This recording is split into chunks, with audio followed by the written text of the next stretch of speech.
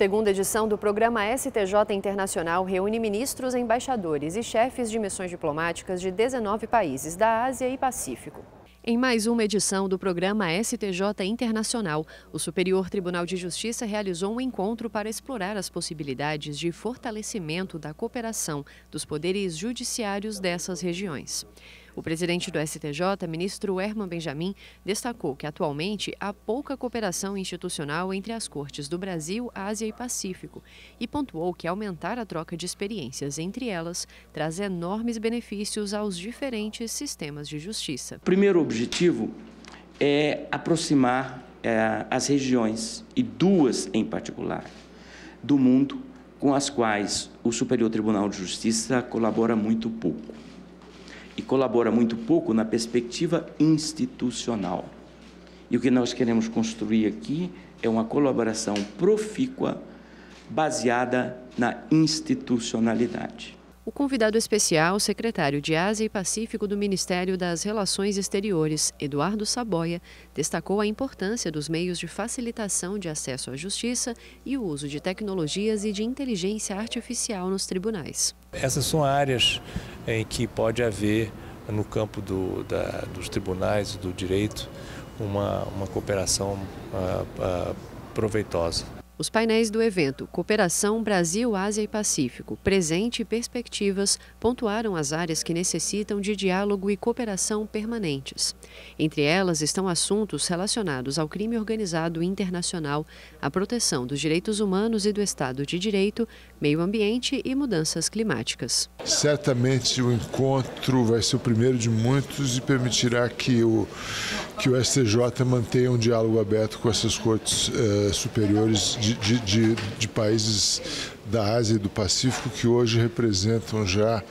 cerca de metade da população do mundo e uma parcela muito significativa da economia mundial. O evento contou com a participação de diversos ministros do STJ que compõem os colegiados de direito público, privado e penal para aumentar o alcance dos debates e traçar planos de cooperação nos mais diferentes âmbitos da justiça é de fato muito importante que o nosso judiciário tenha um olhar para esses países, que a gente faça acordos de cooperação com eles para facilitar o fluxo econômico, o fluxo das pessoas, os problemas jurídicos, para que a gente possa conversar e evitar o tráfico internacional de drogas, o tráfico de pessoas humanas, a questão das fraudes, de patentes. O embaixador da Indonésia no Brasil parabenizou o STJ pelo encontro. I think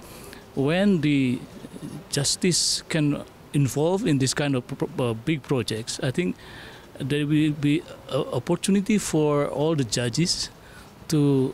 ensure that public policy done in individual country Os embaixadores do Brasil na China, Índia e Indonésia participaram do evento por videoconferência e relataram os reflexos da cooperação judicial nos trabalhos diplomáticos. Claramente existe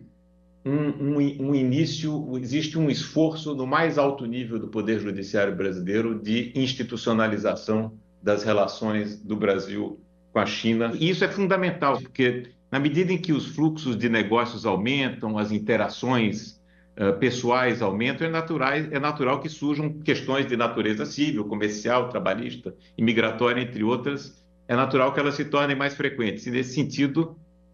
é imprescindível que nós uh, estejamos preparados para lidar com tais questões de forma célere, harmoniosa, eficiente,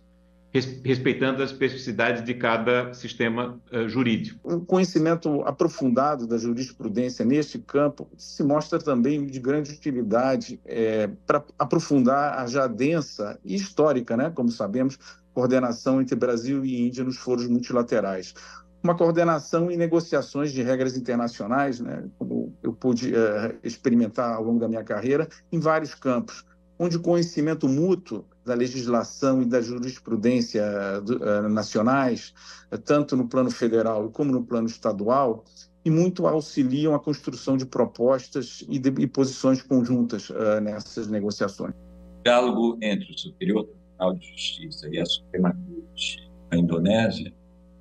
que tem como uma de suas premissas respeito ao Estado de Direito, separação dos poderes, certamente contribuirá